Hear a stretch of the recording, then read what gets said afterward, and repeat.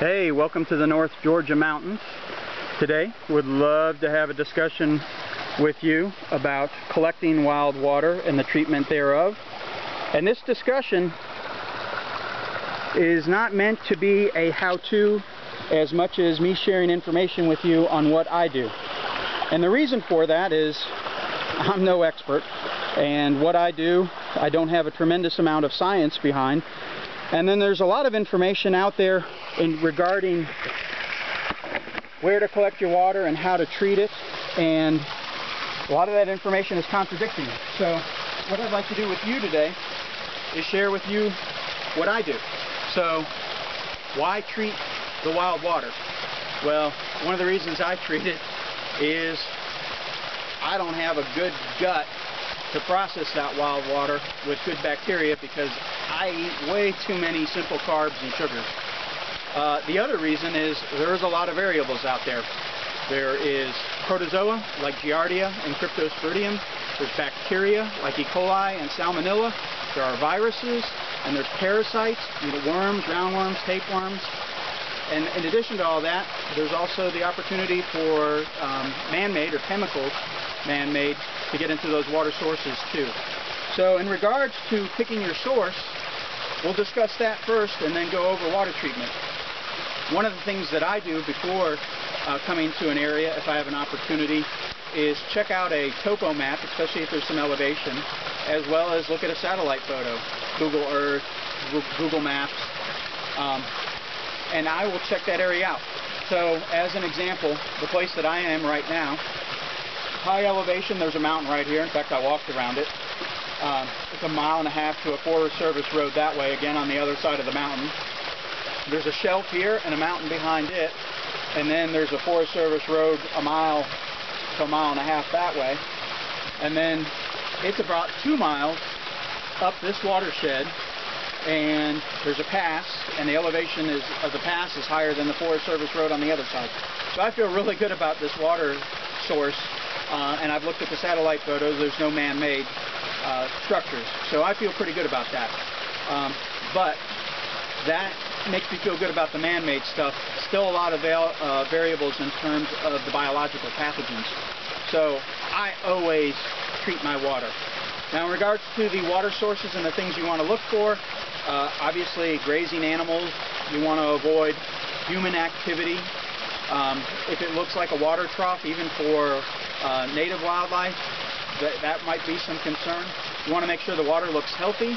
Uh, are there any fish, aquatic plants, not algae blooms. You want to avoid algae blooms, but are there fish, aquatic plants, crayfish, you know, water bugs, etc. You want to make sure that that water source uh, looks healthy. Also, a lot of questions around a fast-moving water source versus a still water source. So a lot of people say go with the fast water, fast-moving water source, and the reason behind that, I believe, is uh, it's very difficult for the aforementioned biological pathogens to attach to organic matter, giving you less opportunity to digest those. I haven't seen any science behind that. If it exists, I'd love to hear it. Um, but what I do believe is elevation plays a major factor in that. Obviously, the higher the elevation, chances are the cleaner the, the water source. And those higher elevations equal faster moving water sources. There are some folks out there and a little bit of science behind going with still water, assuming that still water meets the aforementioned criteria in terms of looking healthy, and that water is clear, and it's getting UV radiation from the sun. Uh, the belief behind that is that UV radiation will kill some of those pathogens, as well as being in a still water source, hard-shelled Giardia and Cryptosporidium cysts will sink. So there is some belief that a still water source can be a good water source, or even better as well. Um, if you have to make a choice between a fast-moving water source and a still water source, which I've had to make those choices, uh, use the aforementioned in terms of deciding which one looks better and let your intuition play into that as well. So, in regards to uh, water sources, this is pretty much it for me in North Georgia, primarily creeks. I understand in the flatland um, there's a lot of still water sources. and those can be turbid. In addition, fast-moving water sources can be turbid as well. Um, timing can play a factor in that. As an example, I know it's going to rain here shortly, and uh, I just chugged my water. And the reason being is I'm going to collect some clean water before that rain hits because a lot of those pathogens will wash down into this water source as well as create turbidity and I want to avoid that. If I do get caught in a situation where my water is turbid, um, whether again a still water source or a fast moving, one of the things you can do is dig an Indian well or a gypsy well and that simply is digging a hole adjacent to the water source where that hole will go below the water table of that water source and the soil typically will filter out uh, a lot of those pathogens um, or organic material I should say as well as the, some of the turbidity. One of the things you do when you dig an Indian well though is you'll have to get that hole dig. The sides will have to be somewhat stable and then you can use your water container to clear out some of that turbid water and let the rest settle. One of the reasons I carry a plastic bag with me is sometimes an Indian well is difficult to dig and you can't get it down deep enough for your water container, especially if you like using one liter bottles like me.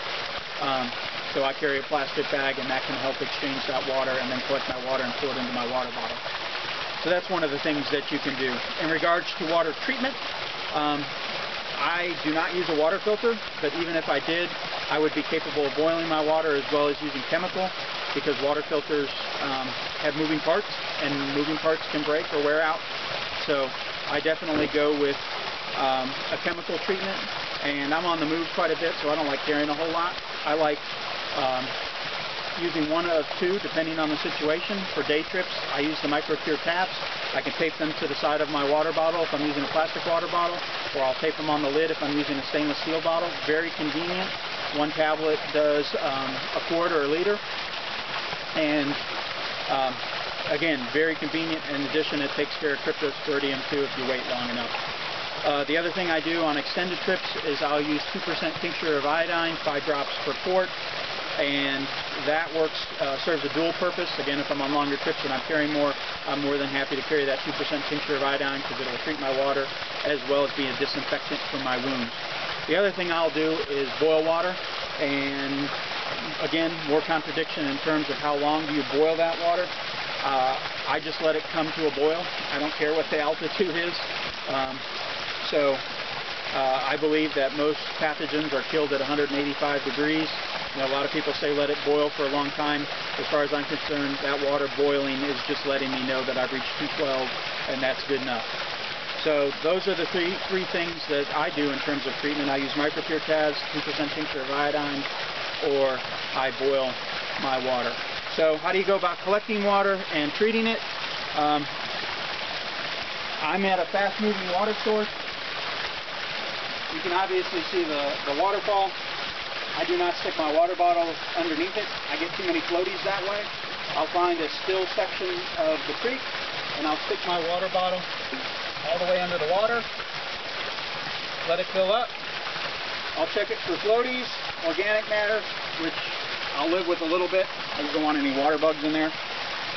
And at this point, I'll do my chemical treatment. I'll either drop in the Micropur tab or the, you know, I either drop in the Micropur tab or um, the five drops of iodine.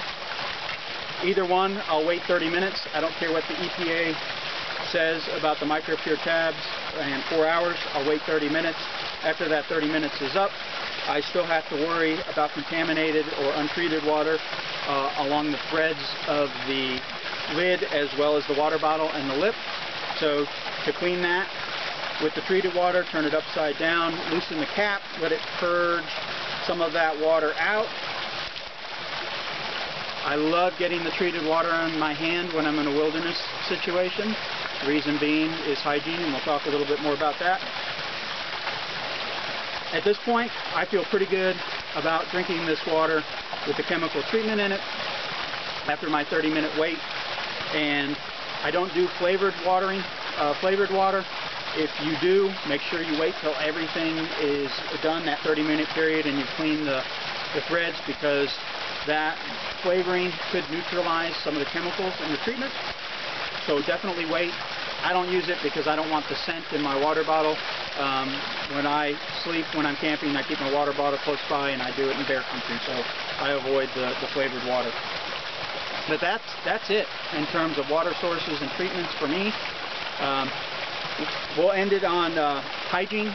All this stuff that I've done could be for naught if I don't practice good hygiene. I mean, my goodness, when you're at home or out in public, you wash your hands before you eat. Why wouldn't you practice good hygiene when you're out here of all the places? Because you're away from, from treatment. So chances are if you get sick in the wilderness, even if you treated your water, even if you didn't, chances are the reason you're going to get sick is that classic hand to mouth. And that's what's going to make you sick. And there is some science behind that. So definitely treat your water, too many variables, and practice good hygiene and you'll have a much healthier experience when you're in the wilderness, especially on an extended stay. Hope this was helpful.